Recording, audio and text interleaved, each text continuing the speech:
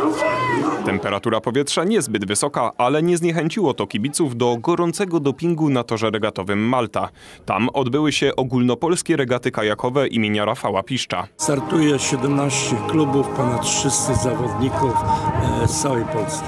Na jakich dystansach się mierzą?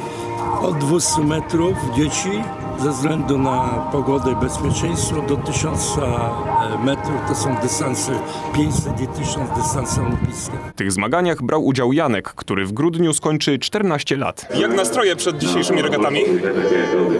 Chciałbym się dostać do finału, wszystko.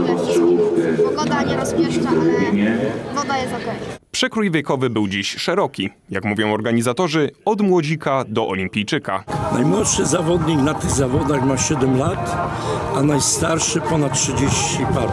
A skoro mowa o zawodnikach starszych i bardziej doświadczonych, dla niektórych z nich dzisiejsze zawody to rozgrzewka przed grą o większą stawkę. Na przykład dla Łukasza Witkowskiego, który zwyciężył dzisiaj jeden z wyścigów na 1000 metrów. Otwarcie sezonu, pierwsze regaty na przetarcie.